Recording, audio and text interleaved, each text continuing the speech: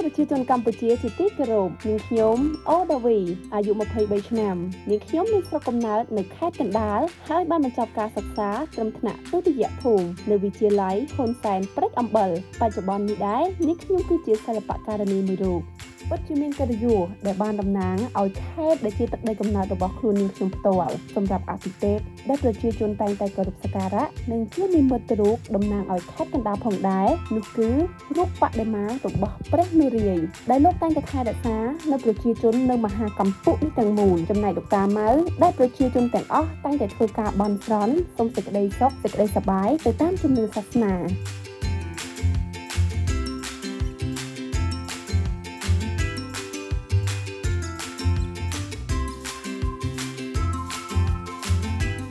លែកសេចក្តីស្រឡាញ់ទៅកាន់មនុស្សជុំវិញខ្លួនគឺជាសេចក្តីសុខផ្លូវចិត្តដែលនេះខ្ញុំតែងតែប្រាថ្នាចង់បាននៅស្នាមញញឹមដែលពោពេញទៅដោយភាពកក់ក្ដៅនិងការចេះចែករំលែកនៃសាមគ្គីភាពសេចក្តីស្មោះត្រង់ការមិនប្រកាន់ជាតិសាសន៍ឬពណ៌សម្បុរឡើយ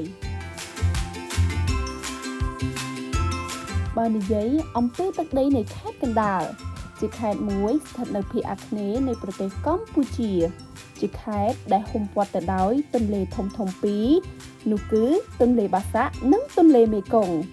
ជាខេត្តមួយដែលមានប្រជាជនច្រើនលំដាប់ទី2បន្ទាប់ពីរាជធានីភ្នំពេញហើយខេត្តកណ្ដាលត្រូវបានគេចាត់ទុកថាជាខេត្តនៃសេដ្ឋកិច្ចក្រុងនិងមានសន្តិភាពស្ថិរភាព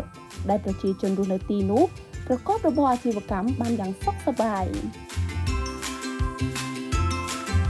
ដំណើរកំសាន្តនិងការជួបជុំគ្រួសារបងប្អូនមិត្តភ័ក្តិជាផ្នែកមួយដ៏សំខាន់សម្រាប់មនុស្សគ្រប់គ្រប់គ្នាអញ្ចឹងហើយនាងខ្ញុំសូមបង្ហាញកន្លែងមួយ ដែលជារមណីយដ្ឋានស្ថិតនៅគៀនស្វាយក្រៅ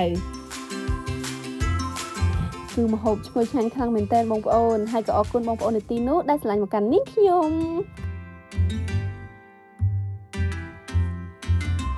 នាងខ្ញុំអូដាវីជា Miss Grand តំណាងឲ្យខេត្តកណ្ដាល